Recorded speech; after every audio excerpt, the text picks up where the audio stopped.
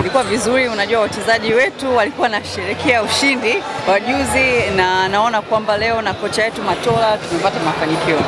Wamepambana kweli kweli, na nashukuru benchi la ufundi pamoja na wachezaji kuwa na moyo na kuvuta subira katika hii kipindi kigumu.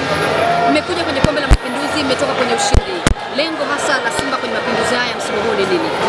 kupata ushindi cha msingi. Unajua hatujashika hii kombe sijui kwa miaka kadhaa, na tumewaambia wachezaji, naomba upambane vijana wetu ili tushike hii kombe. Ratiba ya ligi ya mabingwa imetoka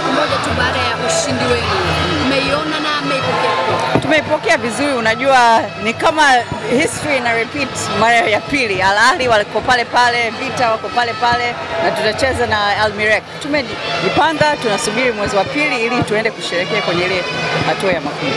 Kuna kigeni zaidi kwenye timu ambazo umepanga nazo msimu huu? Sioni kigeni zaidi, ni uzoefu tu. Uh, tuna, tunatumia utelensia na pia tunaendelea kusajili wachezaji ili tuende pambane kwa hali ya juu kwenye mashindano ya kimataifa. Mashabiki wa Simba ambao wanakutazama na kukusikiliza hivi sasa, kutokana na ratiba leo mashabiki wa Simba walioiona ratiba na nyie kama viongozi mnawaambia nini kuhusiana na maandalizi yenu kwenye ratiba yenyewe?